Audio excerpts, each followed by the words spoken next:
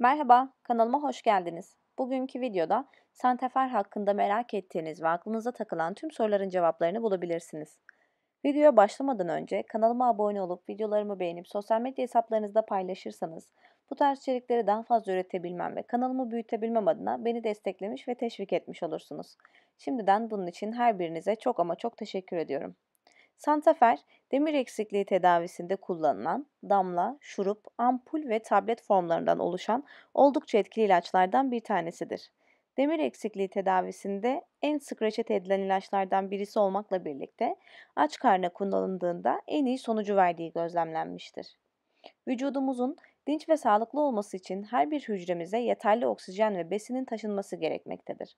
Oksijenin taşınmasından sorumlu olan kırmızı kan hücreleri yani al yuvarlar içerdikleri hemoglobin ismindeki proteinle oks oksijen taşırlar.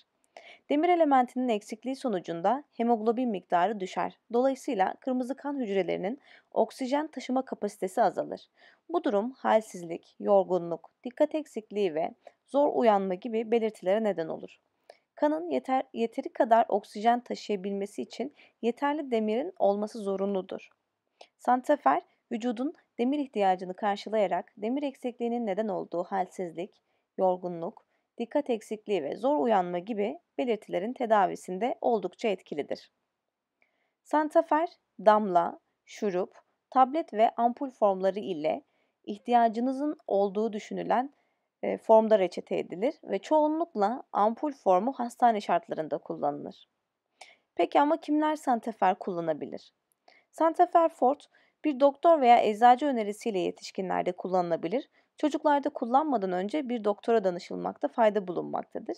Sizin için güvenli olduğundan emin olmak için biraz sonra sıralayacağım maddeleri kullanmaya başlamadan önce doktorunuza veya eczacınıza danışmayı unutmayın.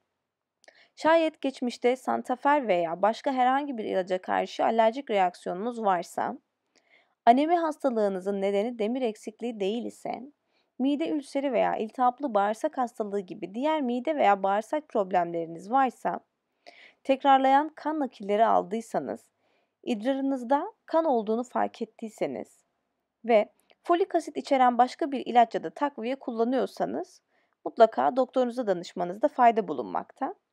Peki ama santafer nasıl ve ne zaman kullanılmalı? Size veya çocuğunuza santafer reçete edildiyse bunu nasıl ve ne zaman alacağınız konusunda doktorunuz mutlaka size belirli talimatlar vermiştir.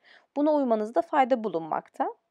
Demir ilacı aldıktan ne kadar süre sonra yemek yemeli sorusunun cevabı ise aç karnına aldığınızda en iyi sonucu verdiğini daha önce söylemiştim. Yemekten 30 dakika önce veya yemekten 2 saat sonra alınabilir. Ancak midenizi rahatsız ederse yemekle birlikte veya yemeklerden hemen sonra da alınabilmektedir. Doktorunuz portakal suyu veya bir C vitamini takviyesi ile santafer ilacınızı aynı anda almanızı tavsiye edebilir. C vitamini bağırsaklarda kan emilimini artırabilir. Böylece bir tablet içerisindeki 100 mg demirin daha büyük oranından faydalanmış olursunuz. Benzer şekilde santafer kan ilacınızı çay ve kahve gibi içeceklerle birlikte almanızı da önerebilir. Çay ve kahve bağırsaklardan demir emilimini azaltabilir. Bu bir tablet içerisindeki 1 mg demirin daha küçük orandan faydalanmanıza neden olur. Ayrıca santafer ilacınızı süt ve süt ürünleri gibi kalsiyum yönünden zengin besinlerle birlikte almanızı da önerebilir. Kalsiyum ile demir bağırsaklarda birlikte bulunduğunda demirin emilimi azalabilir.